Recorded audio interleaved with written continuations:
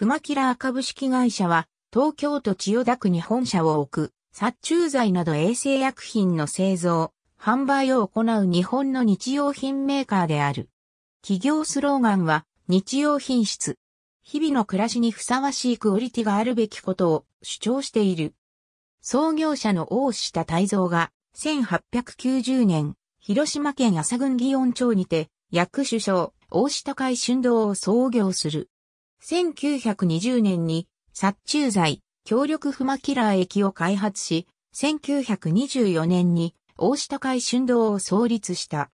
1950年に株式会社に改組した後は、これを軸に殺虫剤メーカーとしての基礎を固めるとともに、1963年には世界初の電気カトリ、ベープを発明、開発したことで、国内のみならず世界中にその名を浸透させる。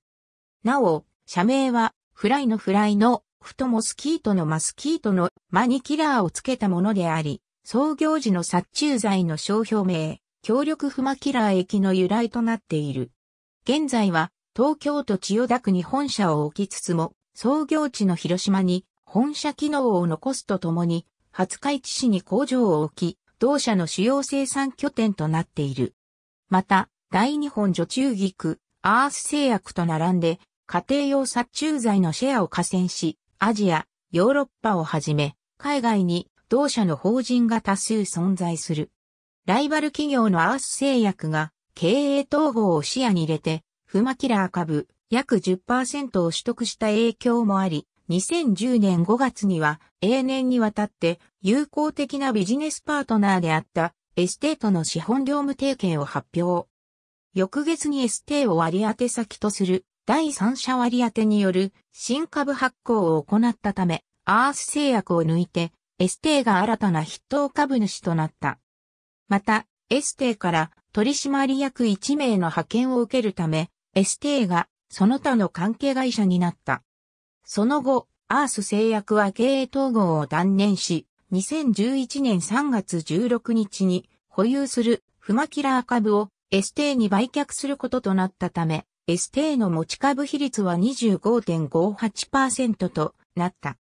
2013年12月から2014年1月に実施された自己株式の公開買い付けにエステーが応募し、エステーはその他の関係会社でなくなったが、依然筆頭株主である。